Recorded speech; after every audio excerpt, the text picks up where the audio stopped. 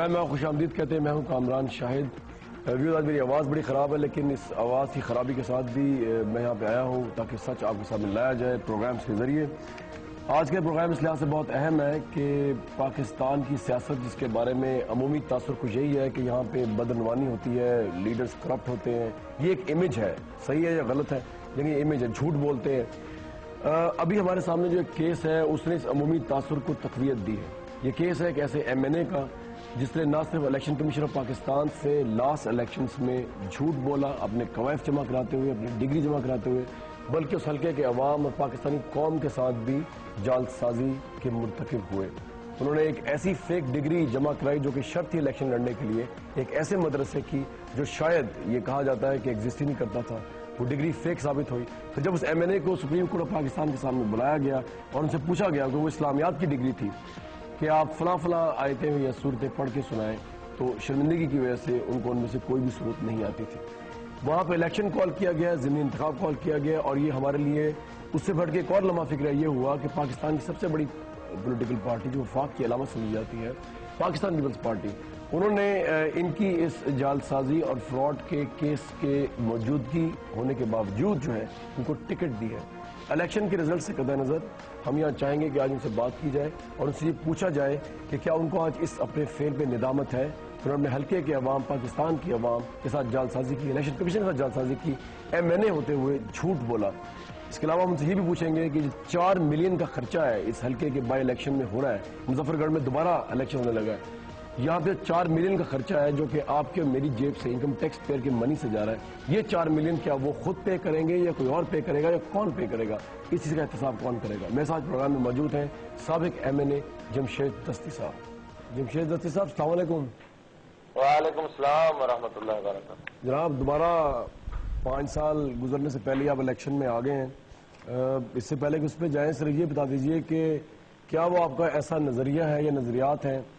जिसमें लोग आपको वोट दें इस हल्के में, जिसमें आप दोबारा भी खड़े हुए हैं पाँच साल आने से पहले।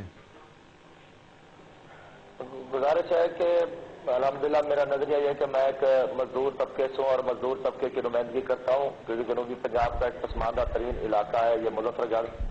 तो इसमें पावर तबका जो है ना अठानवे फ़ीसद है तो मैंने बतौर ज़िले मेंबर, जिला असम्बली मैंने से अपनी सियासत का आगाज़ किया और अलहमदिल्ला एमएनए भी मुझे छोटे तबके ने बताया जो अस्सा तिरसठ साल से जो है ना जगीरदारों की, वडेरों के जेर ताब थे तो मैं अभी भी मुझे उम्मीद है कि इन ताला ये तबका मेरे ऊपर मुतमिन है और वो मुझे ज़रूर कामयाब करेगा।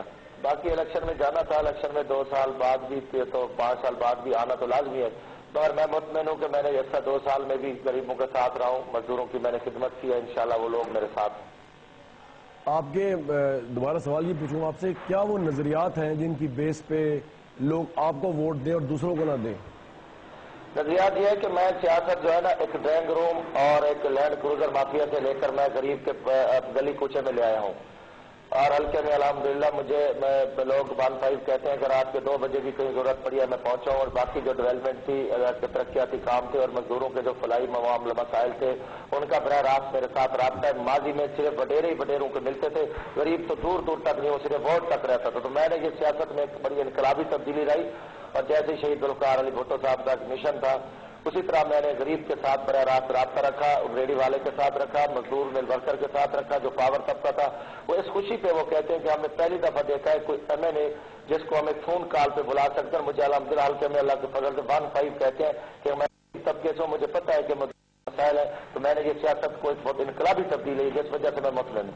जमशेद आप जब से चेयरमैन कायमा कमेटी बने स्पोर्ट्स के तो हर रोज जो है वो स्पोर्ट्स कमेटी न्यूज़ के अंदर घिरी रही। कभी आपने इजाज भट्ट साहब को कहा कि वो अनफिट है? कभी आपने पाकिस्तान टीम पे ये इल्ज़ाम लगाया कि मैच फिक्सिंग में इन्वॉल्व हैं और आके आपको पेशी दें, जिसमें आपको पता है यूनुस खान साहब वगैरह ये सब लोग आए भी आपकी मीटिंग में। तो आप आज भी इस बात पे कायम है कि जो आपने इल्ज़ाम लगाए इखलाकियात के, पाकिस्तान टीम पे, इजाज भट्ट साहब पे मुख्तलिफ़ लोगों पे, वो बिल्कुल ठीक थे। अब तो जब वक्त गुजर गया और वक्त किसी का किसी का मोहताज भी नहीं होता। मेरी जो इखलाकी और ईमानी ज़िम्मेदारी थी, मैंने वो अपनी ज़िम्मेदारी निभाई है। और मैं अलहमदिल्ला मुतमिन, मैंने किसी से जाती अनाद नहीं थी, या किसी से कोई, मैं कोई किसी को थ्रेट नहीं किया। जो मेरी आईनी और कानूनी ज़िम्मेदारी थी, मैंने अलहमदिल्ला निभाई है। और ये कौम ने भी हमें ज़िम्मेदारी दी थी। तो हम चाहते हैं कि एहतसाब होना चाहिए। एहतसाब रहेगा तो इदारे मज़बूत होंगे सिस्टम आगे जाएगा। हमारा कल्चर यह है कि हम जब कोई पहले तो कहते हैं एहतसाब नहीं हो रहा। जब एहतसाब होता है तो फिर दूसरा रुख दे देते हैं। तो एहतसाब भाई के दरमियान होना चाहिए, बाप के दरमियान होना चाहिए, यही हमारा इस्लामी नज़रिया है। तो इस पर मुझे कोई ऐसी शर्मिंदगी वाली बात नहीं जो हकायक थे, और मैं आज भी इस पर मुतमिन हूँ कि मैंने कोशिश की इसकी बेहतरी के लिए। ना कि किसी पर कीचड़ उछालना या किसी को थ्रेट करना, और मैंने कानून और आइन के दायरे में रहते हुए कैमा कमेटी की जो ज़िम्मेदारी थी, वो अलहमदिल्ला निभाई है। उसमें मैं कहता हूँ कि मैं, मेरा बाप भी होता तो अगर कोई जुर्म करता है या मैं भी करूँ तो उनको तो कम अज कम ये सजा ज़रूर मिलनी चाहिए। इससे इदारे मज़बूत होंगे, मुल्क मज़बूत होगा। जमशेद दस्ती साहब, बड़ी अच्छी बातें जो आप कर रहे हैं, लेकिन जिन लोगों के खिलाफ आपने इंक्वायरियाँ की, वो और पाकिस्तान की अवाम आज आपसे ये पूछते हैं कि आपकी अपनी इखलाकी पोजीशन यहाँ पे ये है कि आपने एक फेक डिग्री पे इलेक्शन लड़ा। किस इखलाकी ग्राउंड के तहत जब आप एक इतनी बड़ी जालसाजी मुलविस पाए हैं दूसरों को आप इखलाकियात का दर्ज दे रहे हैं। खा पाकिस्तान क्रिकेट टीम हो, वो एजाज बट हो, या कोई और हो। पाकिस्तान की अवाम आपसे सवाल पूछते हैं कि आप खुद इखलाकियात को पार पार करके इलेक्शन के एक फेक प्रोसेस से आगे आए। आपने झूठ बोला जालसाजी की फेक डिग्री प्रेजेंट की। आप किस तरह अखलाकियात का दर्ज दे सकते हैं जमशेद दस्ती साहब? बात है बड़ी आप अच्छी बात कर रहे हैं और बड़े बल्कि मैं खुशी थी कि अगर आप बात ना ही करते तो मैं ज़रूर इसका जवाब देता। अब मैं एक मेरा भी ये सवाल है कि अब ये शर्त खत्म हो गई है। तो अब इस पे क्या होगा? नहीं मैं इसकी बात नहीं कर रहा दस्ती साहब मैं इसकी बात नहीं कर रहा बात क्योंकि ये आपने जो जालसाजी की उसकी बात कर रहा हूँ। नहीं मैंने कोई जेल साजी नहीं की। अल्हम्दुलिल्लाह अल्लाह ताला के फजल से जेल साजी का फैसला अवाम ने करना है। अदालत अवाम ने अदालत अवाम ने सुनो अवाम सबसे बड़ी अदालत है मैं उस अवाम में हूँ सुप्रीम कोर्ट एक फैसला कर चुकी है मैं उस पर उस पर तफसील में नहीं जाऊँगा। वो मेरे राइट्स बनते हैं बड़ी चीज़ें थी जो जिसपे कि हमने अदल, अदलिया की आज़ादी के लिए बहुत कुछ किया खून दिए और कल में मेरे ऊपर भी खुद पता नहीं कितने मुकदमा दर्ज हुए जब हम सड़कों पर आते थे। अब ये कोर्ट मैटर है और मैं इखलाकी तौर पर भी नहीं कि अदलिया ने जो फैसला किया तस्लीम है उस पर अदलिया ने मुझे कोई नायल करार नहीं दिया मुझे कोई सजा नहीं दी। अलहमदिल्ला वो अब वो काला कानून भी खत्म हो चुका है। अवाम है अवाम सबसे बड़ी अदालत है। गरीब तबका इसको देख रहा है। अगर मुझे गरीब मुंतखब करके भेजते हैं तो मैं समझता हूँ वो सारी जो चीज़ थी वो नफी होगी। और मुझे पूरा यकीन है कि इंशाल्लाह ताला जो मैं माजी में जो वोट लिए थे उससे मैं डबल लेके इंशाल्लाह कौमी असम्बली में पहुंचूँगा। और ये मेरी सारी चीज़ों की जो है ना सफ़ाई अवाम होगी और अवाम की अदालत में। आईने पाकिस्तान कानून यह देता है कि वो जालसाजी करे अवाम के साथ धोखा दे चार मिलियन रुपए की डस्ट बचाए जो कि आपने बचाई है। ना उसमें आप माफ़ी मांगते हैं ना चार मिलियन जमा कराते हैं और आप उसी डिटाई के साथ आज शर्मिंदा भी नहीं है इस खेल के ऊपर। दस्ती साहब आपको इस चीज़ का जरा सा भी मिलाल एहसास और शर्मिंदगी नहीं कि आपने एक्स चेकर्स के पैसों से आपको पता है ज़मीन इंतखाब पे कितना पैसा लग रहा है इस वक्त? आपकी जाल आप मेरी, मेरी बात कंप्लीट होने देना। आपकी जालसाजी की वजह से ज़मीन इंतखाब मुजफ्फरगढ़ में दोबारा हो रहा है। यहाँ पे चार मिलियन रुपया मेरा और पाकिस्तान की आवाम के टैक्स का लग रहा है। ये आप पहले पे करेंगे? तो भाई जी बात है कि मैं समझता हूँ कि अगर किसी की डेथ भी हो जाती है वहाँ भी इलेक्शन होते हैं। ये पाकिस्तान का कानून है रूल है पूरी दुनिया पे ये लागू है। ये ये नहीं मैंने कोई ऐसा तो नहीं हुई।